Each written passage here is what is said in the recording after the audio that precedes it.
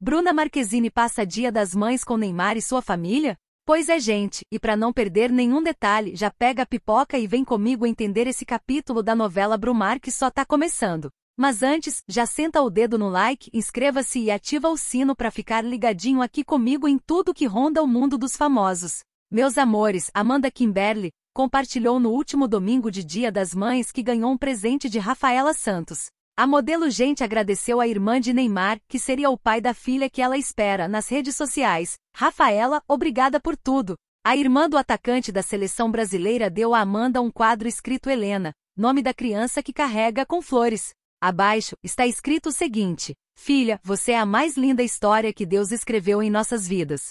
Essa não é a primeira vez que elas interagem nas redes sociais e reforçam os rumores de que Amanda está mesmo grávida de Neymar. Em março deste ano pessoal, a modelo postou algumas fotos na praia e Rafaela comentou: Meu bebê, pois é pessoal, grávida de suposta filha de Neymar, Amanda Kimberly ganha presente da irmã do jogador. O que vocês acharam? Deixe nos comentários sua opinião. E agora a gente aperta o cinto que vamos embarcar nesse babado que tá rondando o mundo do casal Brumar. Amigas, Bruna Marquezine passa dia das mães com Neymar e sua família. Será que esse capítulo da novela Brumar só está começando? Deixe nos comentários sua opinião sobre todo esse babado que é muito importante para nós. Até agora Neymar, Marquezine não confirmaram esses boatos. Mas já inscreva-se no nosso canal que vamos trazer tudo em primeira mão para vocês e desvendar todos os babados do casal Brumar.